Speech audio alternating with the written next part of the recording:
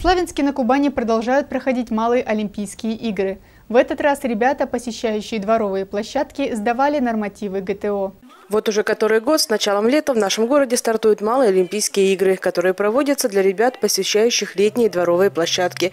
В этом году таких площадок 8, и их команды участвуют и соревнуются между собой в самых разных творческих и спортивных состязаниях.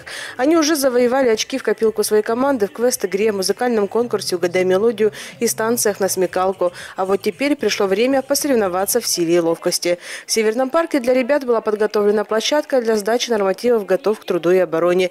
Ребят поприветствовал директор Центра развития спорта Николай Сиренко, который будет следить за правильностью выполнения всех заданий.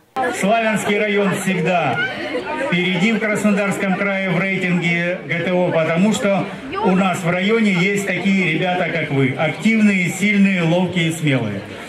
Я вам всем желаю удачи. Участники спортивного состязания на готовность к труду и обороне выполняли четыре комплекса – отжимания, упражнения на гибкость, поднимание туловища из положения лежа, челночный бег. Ребята старались изо всех сил, каждый хотел показать наилучшие результаты, чтобы привести свою команду к победе. Результаты сдачи нормативов ГТО пойдут в общую копилку достижений дворового отряда. В конце лета команда, набравшая самое большое количество баллов, станет победительницей летних малых Олимпийских игр 2022 года. Анна Монастренко, Дмитрий Волошин. Волошин, программа «События».